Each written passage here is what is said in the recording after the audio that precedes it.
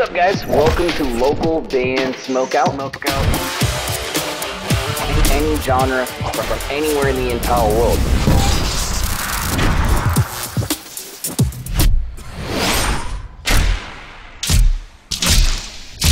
I, I want to hear your music.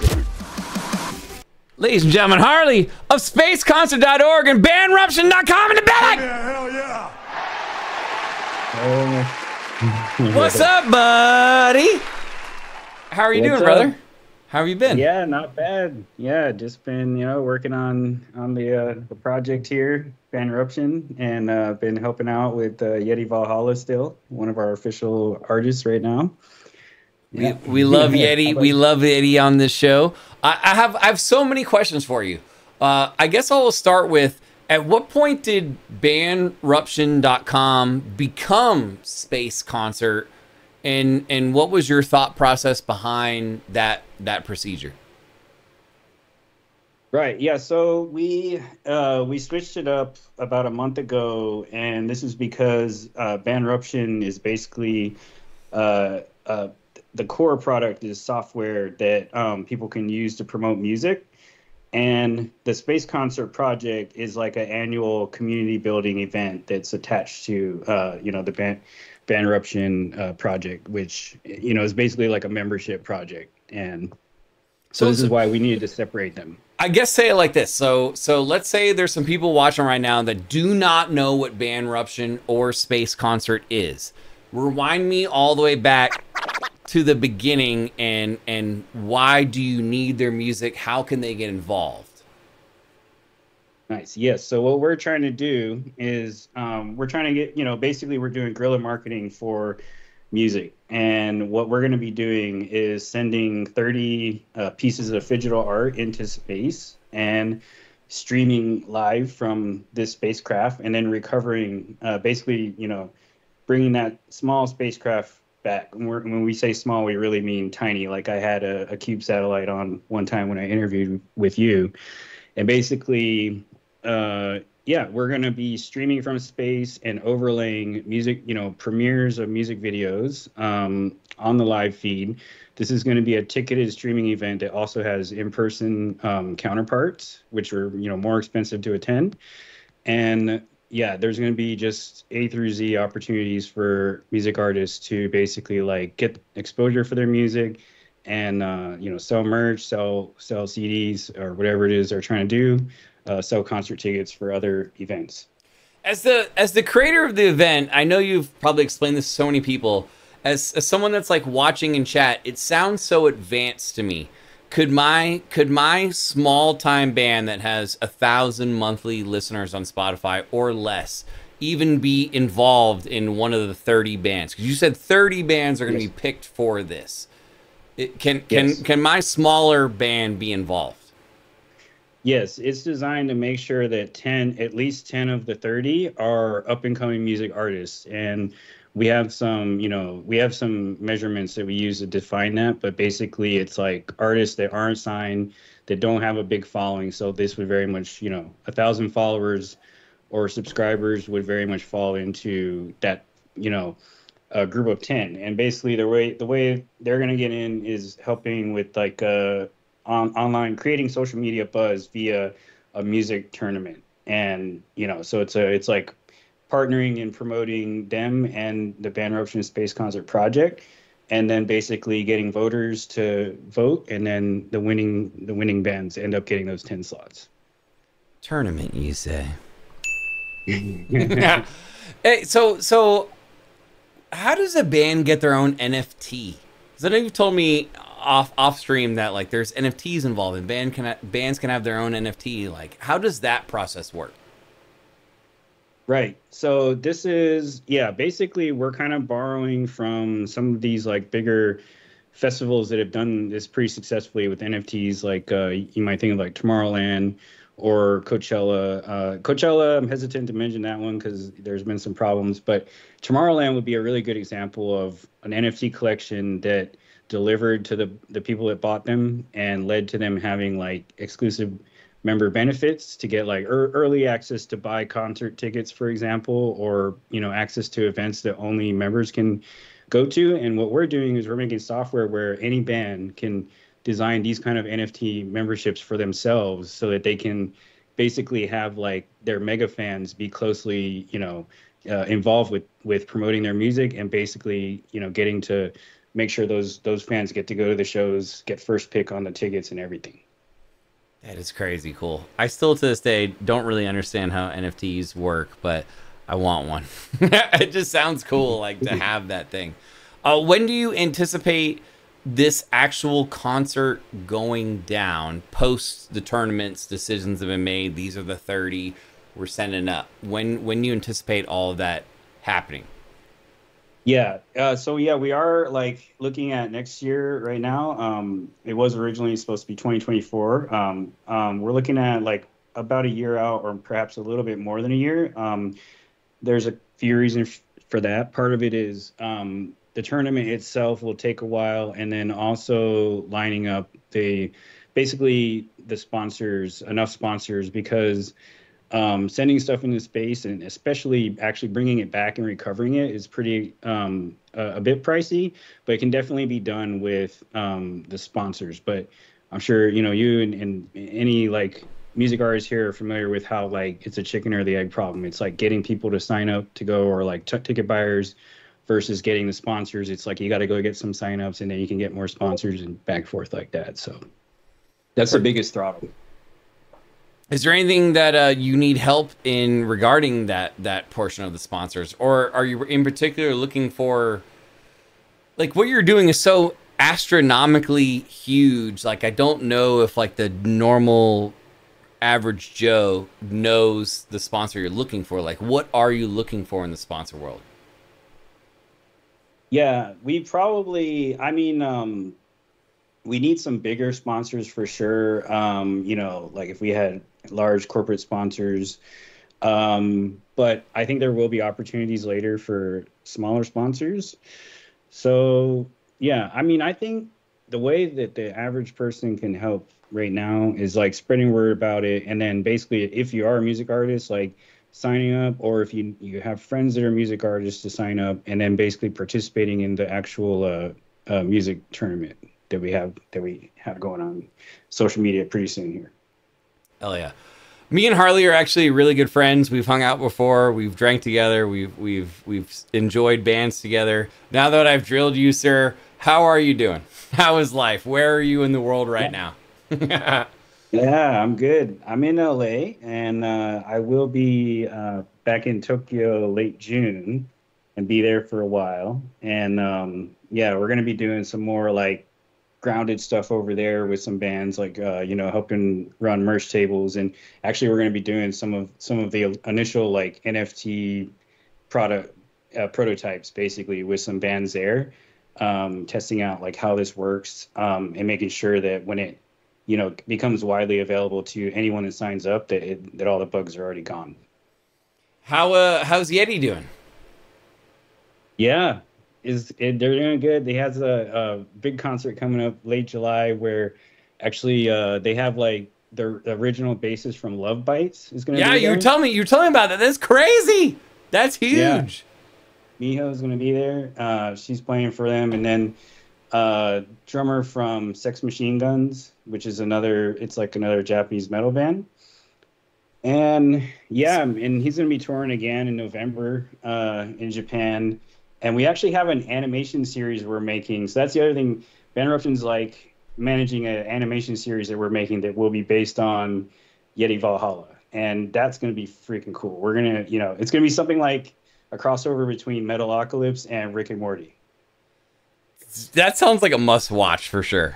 Mhm. Especially if it involves Yeti, because he's he's crazy. He's a party animal. I get the Metalocalypse madness. Yo, that that sounds like a win right there for sure.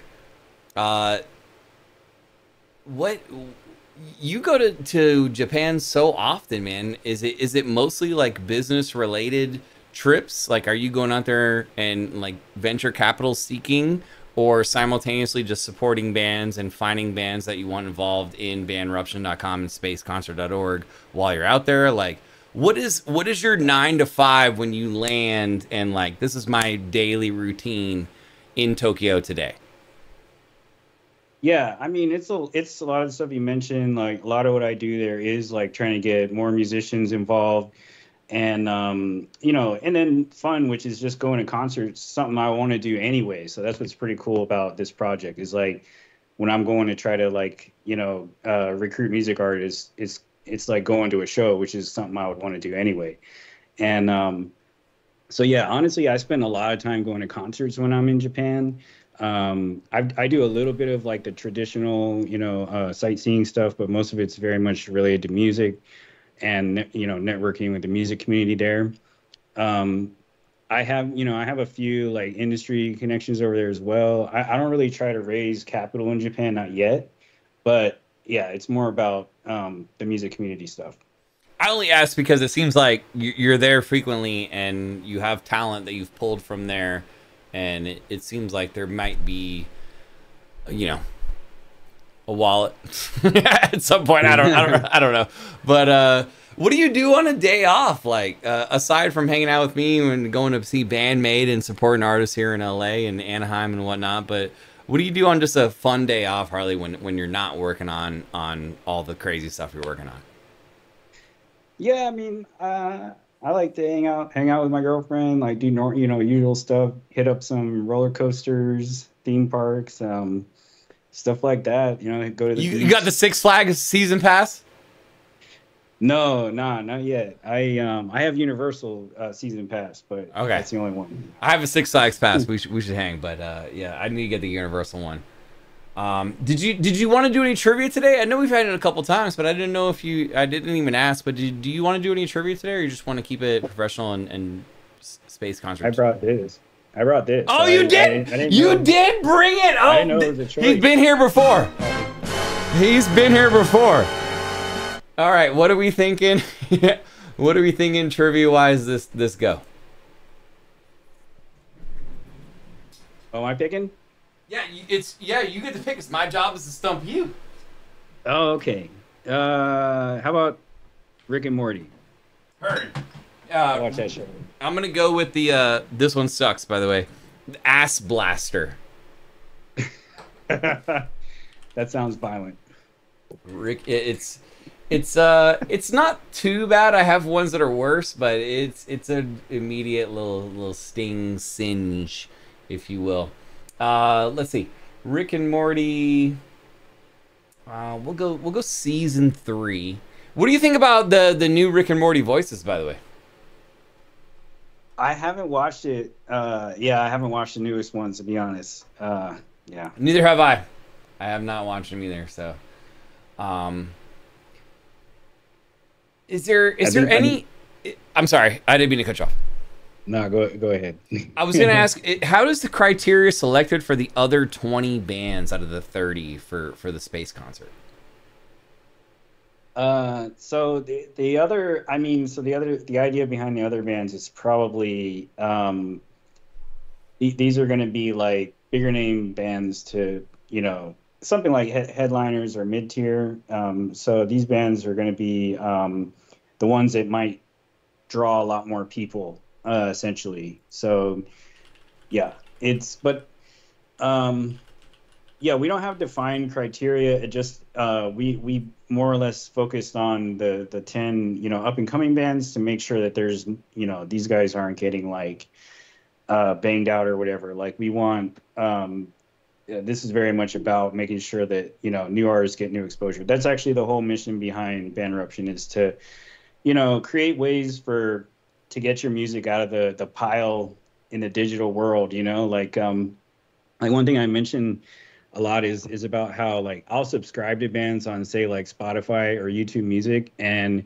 if they're not already famous, like the odds, basically those those apps will never randomly play those bands, uh, or even when I try to type in the you know type their name into the search bar, it won't even suggest their name. And I'm like, I'm subscribed to these guys, and you you make me work so hard just to listen to their music, and that's the problem, right? It's like, how do you totally get exposure when all the cards are stacked against you? So. It makes sense. I have that problem all the time on YouTube. Like I'll type the the artist and the song name, and it's I still won't be able to find it. And and it depends like what what you're on, why you can't find it. But yeah, that is an issue. Um, is this is this something last question, then I'm ready for the first trivia. But it, is this when you say like space concert? So this is like simultaneously casted. Like let's say X band has a rehearsal space, and they have the ability to like live cast from this rehearsal space. That is what is going to be projected in space for the concert. Uh, uh no, on that no. So that what's being uh, live casted is the footage from space. Um, but we're basically going to be layering like videos that the the band or music artist has already submitted to us. I think, you know, that's already challenging, and then basically to, to try to like live stream and, you know, coordinate with like a spacecraft. This is maybe later, maybe like because we're going to be doing this every year. Um, so maybe later we can do something like that. But for the first one, the first iteration, just a, a video. Yeah. I got you. But my job's to stump you. Here we go. Rick and Morty trivia. Season 3, Episode 5. Rick takes Jerry to an alien resort. But there's an extraordinary safety feature. What is the extraordinary safety feature regarding Rick taking Jerry to the alien resort?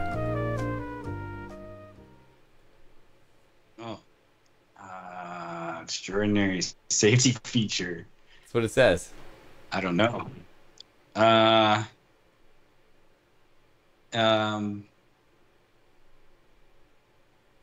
I don't. I don't know. This is. I don't I'll, know. This I'll give all. you a slight hint. He takes him to a alien resort that is protected by something. uh, an anti Jerry screen screening machine. You think it would be, but no. Enjoy the hot sauce. I'm gonna suffer with you. Don't worry. It's protected by an immortality field, meaning if anyone leaves the field, they are instantly resurrected. Or I'm sorry, if they die within the field, they're instantly resurrected. So in that episode, if you die within the field, uh, so cheers. Let's do some. Let's do some hot sauce. Cheers. Ass blaster for me. Here's Frank's just regular. Enjoy your franks. Oof. Oh yeah. Not as ass blasty, but you know, maybe, maybe later. Yeah, that one's uh you don't want that. You don't want that. Woo! Harley, what's a what's a band that you've heard recently that we've never jammed in the show, or you don't think we've ever jammed in the show that we you think we should know about? Um, yeah, I've been slacking on the show lately, but uh, so I just heard of one a couple days ago called Nikki. I mean, this is out of Japan too. Another, you know, it's like a girl rock band, uh, N E K I. They're, but yeah, there's. I guess the basis is a big deal. Um, but I heard one song and I didn't. I didn't hate it. Yeah, it's not bad. N E K I. yeah. Let me cue it up for when we get out of here. Get, there it is, right there, right? That first one. Yeah. Yeah. All right, Yeah. cool. Oh, I have jammed it. It says I got the thumb up. So somebody, probably you, showed it to me. Um, oof, mouth is on fire, bro. The ass blaster is no joke. What what are the like? Is there like any logistics you have to clear with like NASA or something to be able to pull off something like this?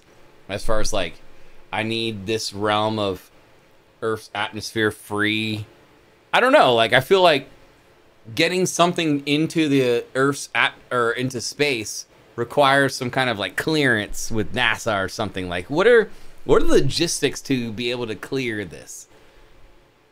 Yeah, I mean, it, uh, it it depends exactly how you do it, um, but basically, what we're doing is we're ride sharing on launchers that are already going up. You know, it could be SpaceX or or another you know company like Blue Origin or, um, and they're already sending a rocket up. They have extra space, and then they basically they will let you send other stuff up, and then there's companies that are already selling sending like a small satellite or spacecraft up, but then they have extra space. So you're kind of doing Uber on this little satellite. And then so the the short version of that is those guys take care of all that. They're they're called payload brokers. And basically like yeah, you gotta you gotta they, they gotta explain like make sure that we're not just leaving space trash up there and you know, there's gotta be like uh, basically. Wait, wait, wait, wait, wait, wait, wait. Hold up. Space Um, trash. Something. So like someone's gonna spend space some, someone's gonna spend like a million dollars to send a rocket into space just to just to unload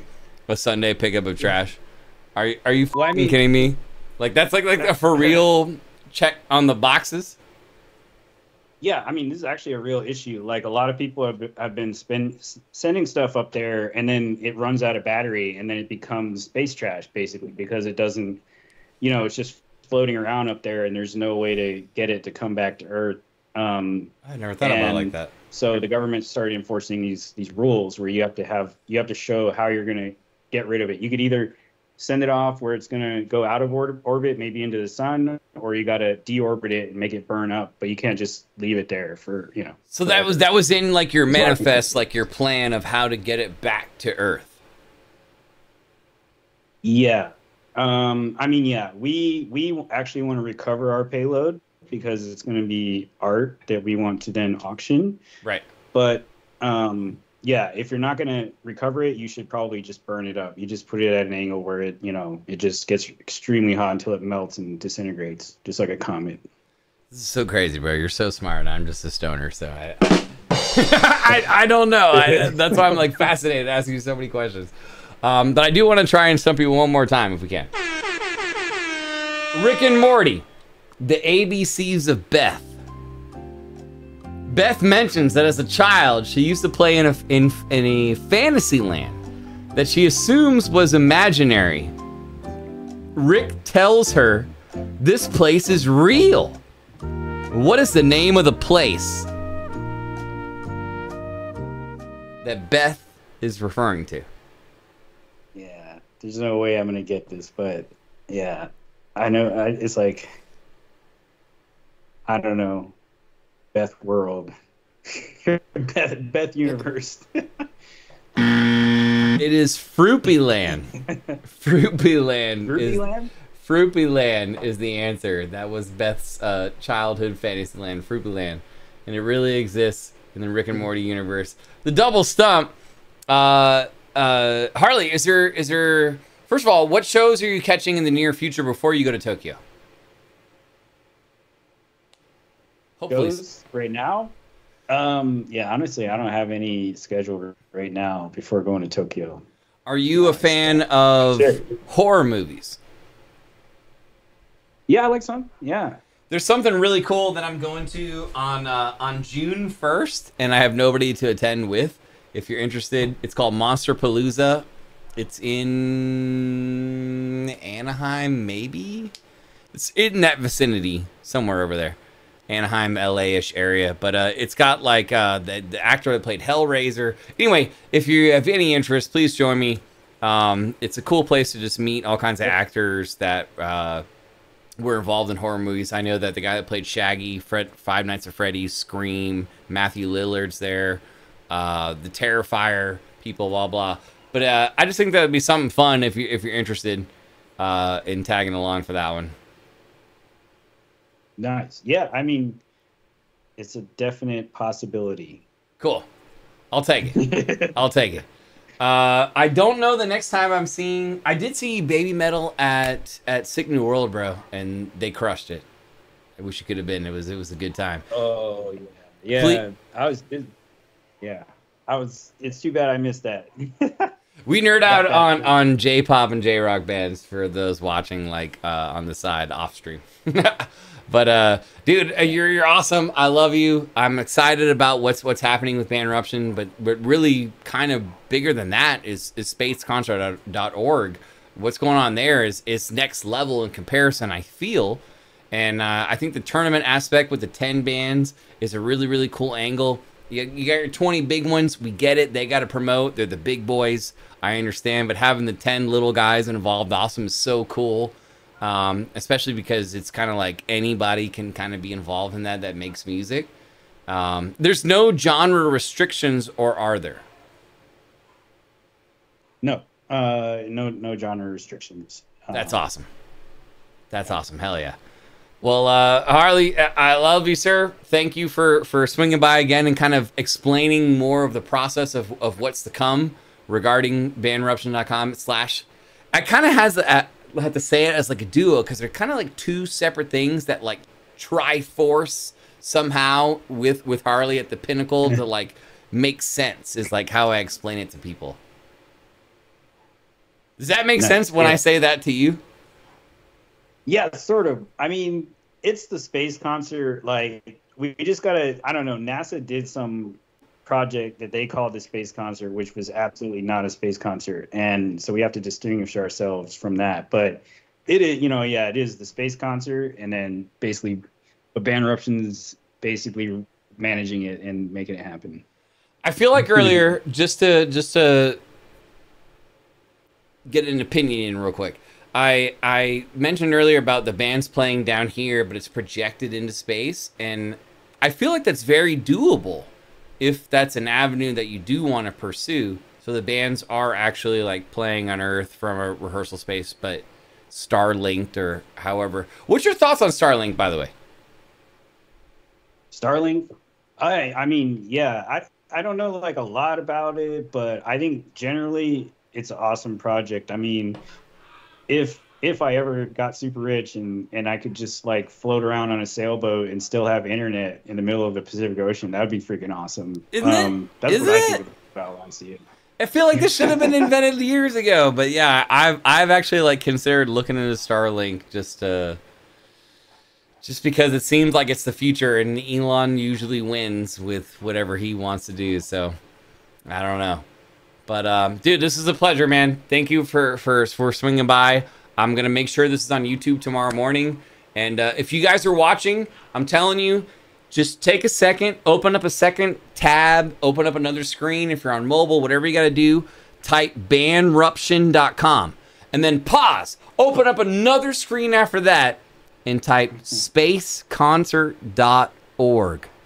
Trust me, you'll be happy you did. Do your research. This is going to be happening in the future. And uh, Harley right here is in charge of all of it. He is the the the brains, the genius involved in the whole process, and uh, he's a good buddy of mine. And I appreciate you, sir. Thank you for explaining what is somewhat confusing to someone that kind of doesn't know. Like if if you're just somebody in a band that you know is just jamming, gigging, it, it's a little confusing on, on the process. But having you here makes it a lot more easier to explain, and you did explain that. Yeah, thank you, BG. Yeah, and always appreciate you too, man. Uh, it's. I'll, I'll, I'm sure I'll be chatting with you in the near future. Harley of SpaceConcert.org. Thank you, Brian. Cheers, brother. Thank you.